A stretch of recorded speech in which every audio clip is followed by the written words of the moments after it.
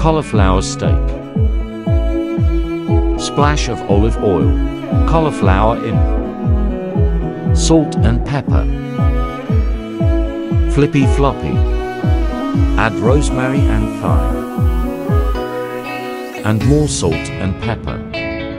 Get both sides crispy. Then add my vegan mother sauce. Check out my other video for that recipe. Keep the top side dry and crispy. Don't baste it. I know it looks cool and all the pro chefs do it. Trust me. Don't do it. Let it simmer till the sauce got the perfect consistency. Enjoy. And don't forget, stay saucy.